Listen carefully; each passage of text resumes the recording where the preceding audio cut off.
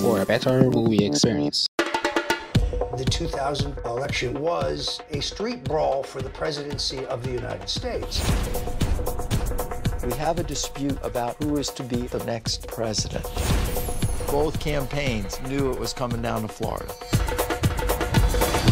This is going to be a total shit show. About 6:40 this morning, a five-year-old child came ashore. Elian Gonzalez was used for political purposes. Cuban Americans thought that he should stay. Democrats wanted Elian taken back. But when Elian was returned to Cuba, there was a price to be paid. They can stop Al Gore from becoming president. Bush was handed this plate of voters. All of a sudden, there are problems. It's too close to call. This triggers an automatic recount. The rules were changing minute by minute.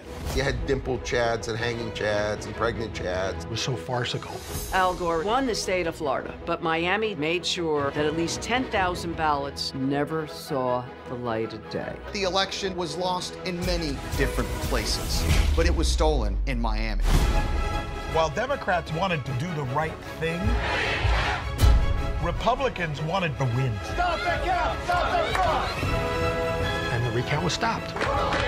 It was run with evil intent, and it worked. Please give me a fucking break.